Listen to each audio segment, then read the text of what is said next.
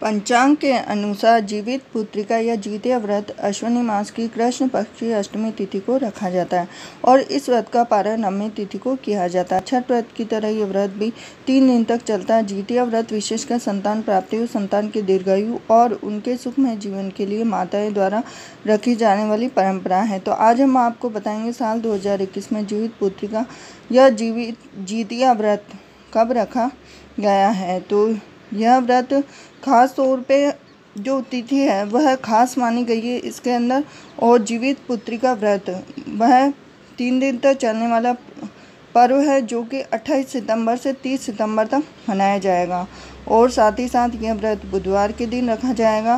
अब हम जानेंगे कि जीतिया व्रत का शुभ मुहूर्त क्या है? तो अष्टमी तिथि प्रारंभ अट्ठाईस सितंबर छः बजकर सोलह पी से और अष्टमी तिथि समाप्त है उनतीस सितंबर आठ बजकर उनतीस मिनट पर।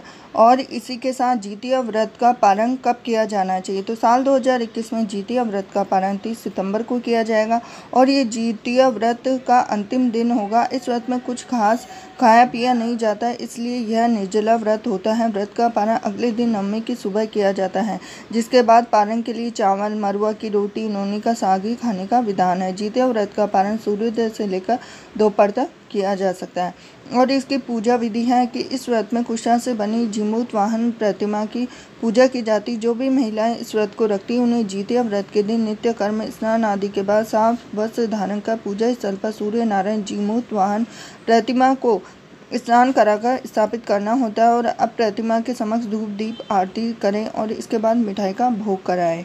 इस व्रत में माताएँ सप्तमी तिथि को, यानी नहाए खाए को, सूर्या से पहले खाना और जल ग्रहण कर व्रत की शुरुआत करती है अष्टमी तिथि को पूरे दिन निर्जला व्रत रखती। उसके बाद अगले दिन, यानी नवमी को, व्रत का पारण के साथ जीविता पुत्रिका व्रत का समापन करती हैं।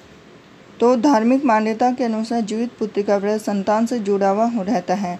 तो ये थी खास जानकारी तो जानकारी अगर आपको पसंद आई हो तो वीडियो को लाइक कीजिए, चैनल को सब्सक्राइब कीजिए, बेल आइकन बटन दबा दीजिए। तो मिलती हूँ नेक्स्ट वीडियो में।